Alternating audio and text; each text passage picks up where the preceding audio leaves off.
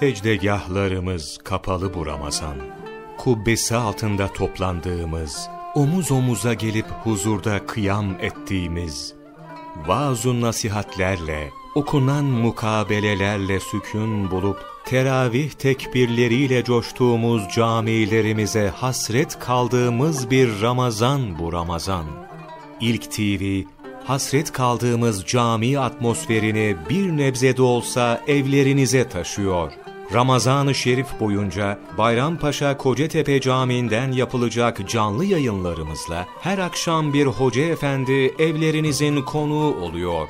Camilere olan özlemimizi bir nebze de olsa dindirecek Ramazan sohbetleri, Ramazan boyunca her akşam yatsı ezanına yarım saat kala İlk TV ekranlarında. İlk TV, evinizin medresesi.